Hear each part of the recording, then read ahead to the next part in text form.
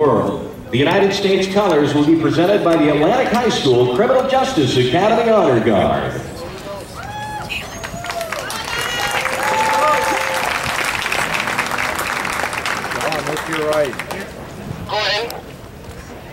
And to perform our national anthem, please welcome a 14-year-old pop country vocalist currently working on her debut album.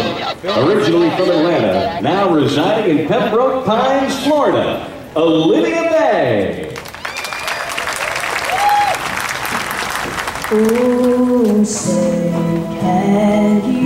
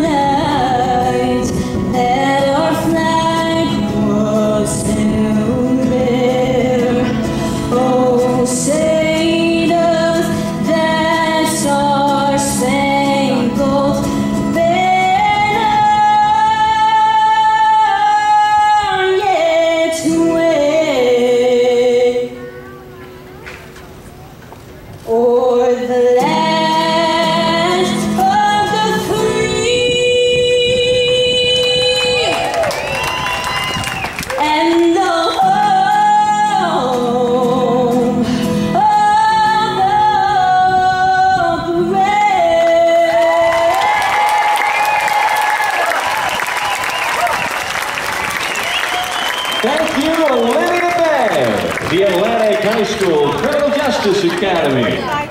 Jovanka Jean-Baptiste, our dignitaries, the wall persons, and all of our ceremony participants.